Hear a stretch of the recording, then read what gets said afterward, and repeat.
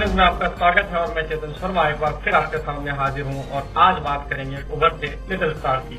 कहते हैं पूछ के पाँव पालने में ही नज़र आ जाते हैं। इसका अर्थ है कि बच्चे के बचपन में ही उसके क्रियाकलापों से उसके भविष्य का अंदाज़ा लग सकता है। और अगर बच्चा महज चार साल की उम्र में ही एक्टिंग करने लगे तो उसका हुनर खुद मुँह बोलता है। आज लॉकडाउन के बीच हम आपको ले चलते एक ऐसा हुनर दिखाने जिसे देखकर पर्दे के कलाकार भी अचंबा करते हैं। राजस्थान के बाड़मेर ज़िले के बालोतरा कस्बे में जन्मी ये महज चार साल की बच्ची टिकटॉक पर काफ़ी ट्रेंडिंग है। छोटी छोटी बातों पे तुम ना फुलाया कर कर सुबह तेरा प्यार न्यू ना आजमाया कर। हाल होगा तेरा दूर गई तो के हाल होगा तेरा दूर गई तो।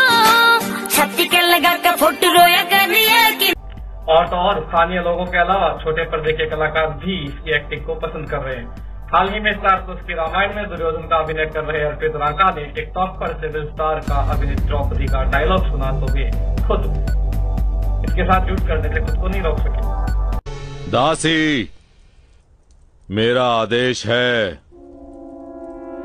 वापस आओ।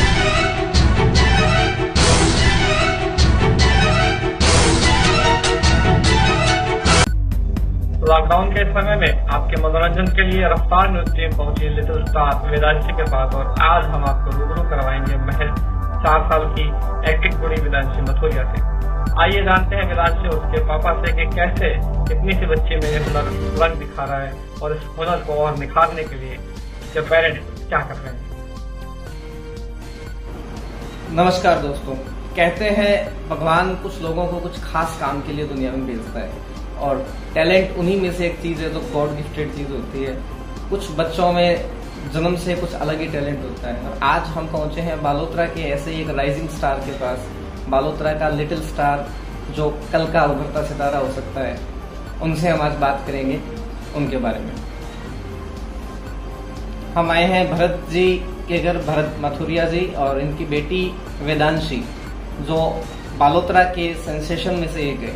यहाँ इस वक्त की एक राइजिंग लिटिल स्टार में से एक है वेदांशी। आइए बात करते हैं। भरत जी आपने ये बच्ची का ये टैलेंट कब पहचाना? आपको कब लगा कि इसको एक्टिंग का शौक है मैं इंस्टाग्राम पे हूँ और वहाँ पे कुछ मैं पोस्ट देखा करता था। तो मैं काफ़ी दिनों से एक वीडियो में देख रहा था, बाबा टिकटॉक टिकटॉक पे, इस एप्लीकेशन का नाम मैं सुनता था। फाइनली मैंने सोचा मैं भी इसको यूज़ करता हूँ। जब मैं इसको यूज़ करता था तो ये मेरे साथ में साइड में मुझे देखती थी और मेरे जाने के बाद अपना एक प्लास्टिक का सेलफोन होता है जिसमें रिंगटोन बजती है वो लगा के वो सेम एक्टिंग वो किया करती थी। तो फाइनली एक बार मैंने सोचा क्यों ना मैं भी इसको एक बार ट्राई करता हूँ इनकेस अगर ये कर पाती है। तो थोड़ा बहुत एफर्ट लगा लेकिन उसके बाद बहुत ही एफर्ट लेस ही ये मेरे साथ मतलब सपोर्ट करती गई और ये अभी भी करती जा रही है। क्या एज है इसकी? आप इनसे ही पूछ लो।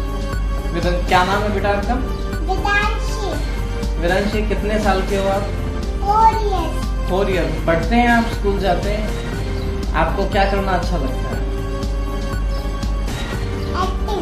एक्टिंग अच्छी लगती है आपको? आप बड़े होके क्या बनना चाहते हो? एक्टिंग करोगे आप बड़े होगे ओके आपको बहुत अच्छा लगता है तो आप क्या क्या एक्टिंग करते हो? किसका आप कॉपी करते हो एक्टिंग में? पापा को कॉपी करते हो? और आपको कार्टून भी देखते हो? सभी बच्चे देखते हैं ना? आपको भी कार्टून पसंद है? आप कोई कार्टून की एक्टिंग कर सकते हो? किसकी करोगे? करके बताओ।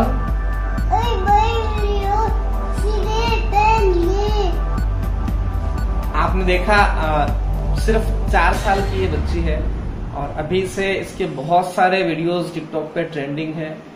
और इस एरिया में और इस एरिया के बाहर बहुत सारे लोग, इनकी फैमिली को इस बच्ची की तरफ़ से जानते हैं। हम आशा करते हैं और दुआ करते हैं कि इसके टैलेंट और उभरे और निखरे और ये भविष्य में